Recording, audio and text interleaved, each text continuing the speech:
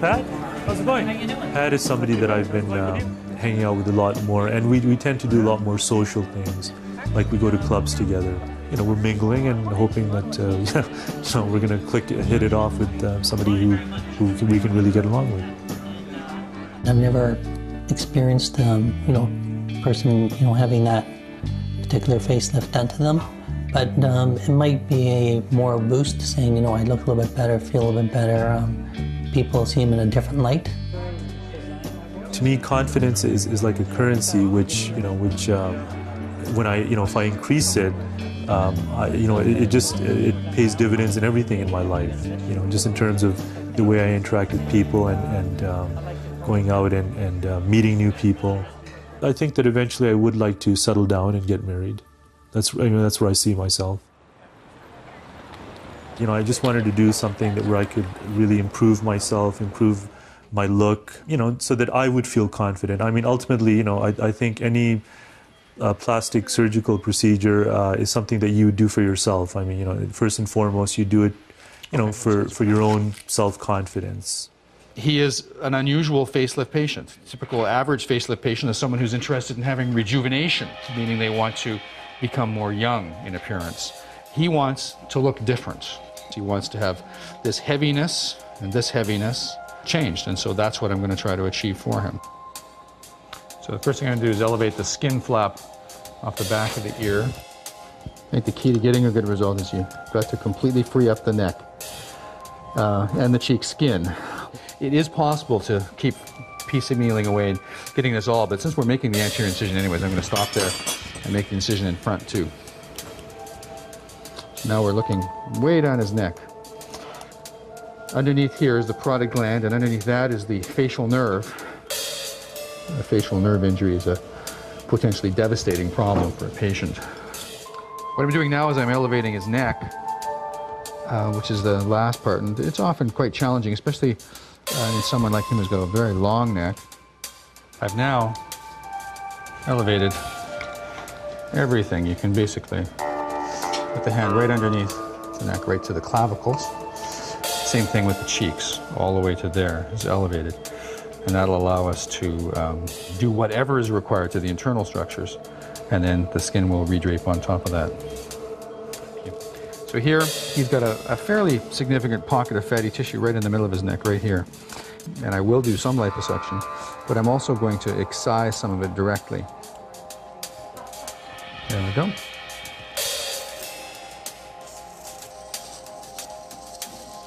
This is what I've removed from right in that central neck right there. And I'm not removing a huge amount of fatty tissue either.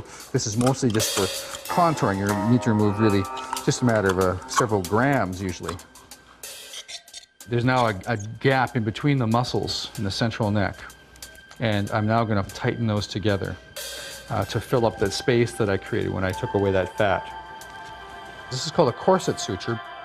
What I'm going to do with this is I'm going to tighten the entire neck from here to here, right across the middle. Yeah, what I'm to do now is I'm going to uh, place a suture into this tissue here. Is that it there? As you can see what that's doing there. That's uh, I'm going to uh, elevate this cheek, give him, take this, put it here, basically. So now I'm just going to suture this in position here, like so. Okay, so the final insetting of all this is to just tailor off a little of these little bits of skin that are hanging over the edges. And uh, when it heals up, he should have uh, virtually nothing in the way of a visible scar. I decided to tell the soccer team that I was uh, that I was gonna do this because I told a, couple of guys there, and they're like, "Oh, you're crazy! You don't need to do it." But um, I feel like I need to do it. I know that he's getting liposuction. He told me. I don't think he needs it. I think why he's getting his this done is because um, the most important reason is because the modeling, uh, the acting business. He started getting a little bit weight, and now he wants to work out, but he wants the easy way out. It's always has to do with women, because you know, guys they, they always want to impress girls. I was in the relationship for four and a half years, so just decided to go each other's way. It's important for me getting married and have a life, but uh, not anytime soon.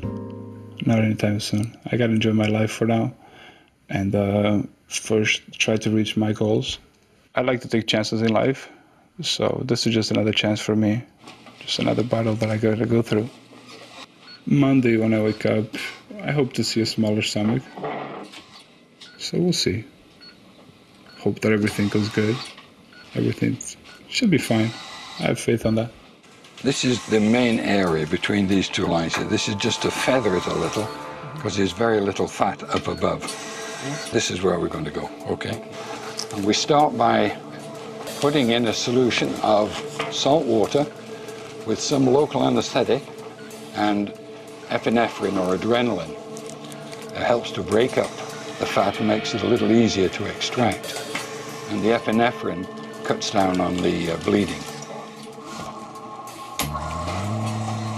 And the important thing is not to stay in just one direction all the time, but to fan it out so that we don't get too many grooves and ridges.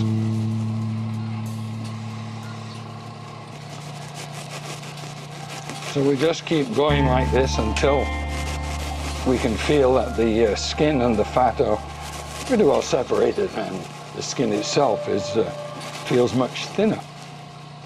Now at times, and you can see we're doing it here, we can use two machines so that two surgeons are working on different sides of the body. And this has, first of all, it makes the operation quicker, and that's important for the patient's health and safety. Yeah, we're getting near the end, and uh, one way of judging this is that we can lift up the skin, which we couldn't do before because there was so much fat holding it. So I think we'll just close up and, um, and call it a day. So what we do now, we put on um, the dressing and the binder. And uh, he'll wake up and he'll be a little uncomfortable, but I think uh, the long-term result is going to be fine. As long as you're good looking and you got a nice body, you got your six pack, you know, you can take off your shirt. I think that's the, the ideal man out there.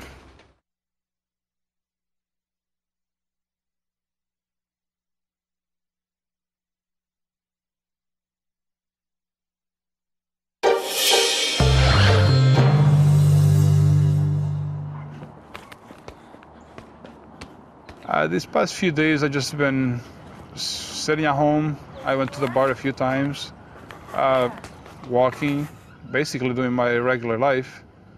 I can't really tell that I have pain, just a little tingling on the sides, but it's it's not even pain, to be honest. Like I don't feel nothing. And me, on the colline. Now, hopefully, within a few weeks, I'll be ready to see my six pack again. Pega a bola, olha a bola. Vem que o tio Pega. O tio não tem aqui. Well, it's been, I would say, about two months since I did my surgery. The liposuction was uh, was a good thing.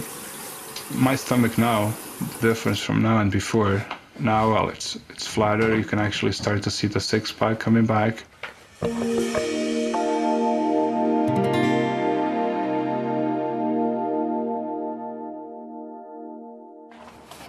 My mother's reaction to my new stomach, she was happy for me and she was just amazed how things went and that I'm still alive. My brother, my, my mother, like they're, they had to go to Portugal to take care of some problems and visit the family and stuff like that. One day I want to go back there just to live the rest of my life, I guess. Just go there for good. Right now, my goal is trying to get into this industry, which is very tough. I want to see myself in Hollywood, you know, live down by Beverly Hills, and see myself on the big screens and on the cover of the magazines. I've gone to, to a couple of auditions since I did my liposuction, and uh, they're actually working out. As long as you're like, good looking and you got a nice body, you got your six pack, you know, you can take off your shirt. I think that's the, the ideal man out there. Some of my friends, they're kind of, they're happy. They say, you know, you look skinnier, this and that. The results of Paul, they're pretty good. I was surprised myself. He's been working out harder, been cutting off most of the stuff that he was doing wrong. Now he's doing this healthy stuff, so I'm happy for him. You know, we talk to girls. I think they appreciate you more if you look good than not caring about yourself. Much more confident when he, he goes up to talk to a girl. He's more confident that he's not gonna get the boot than you know, like than most of the times. Yes, I'm happy. I'm happy to to did what I did, go through what I went. Just a few days after the surgery, my uh, my mom passed away. That did put a damper on things, you know, because I was quite enthusiastic about the surgery uh, and uh, any sort of self improvement I would want to do at that point is um, really belittled. I, I would say, you know, you know, I was actually in mourning, yet people were coming and saying, "Hey, you look great," you know, and I'm like, "Really? Okay," you know. I think she would like it. I think she she would have been uh, really happy.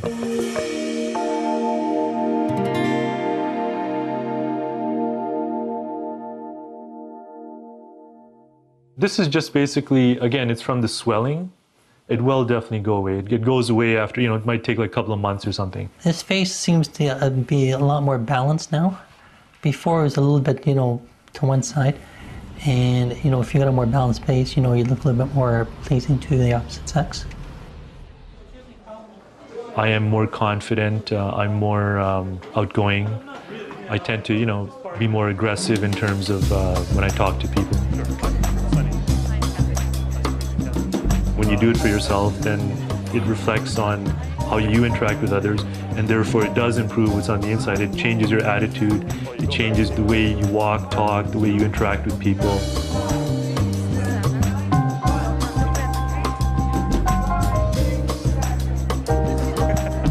I'm very happy with the results, and I'm, I'm just uh, ecstatic with having done that.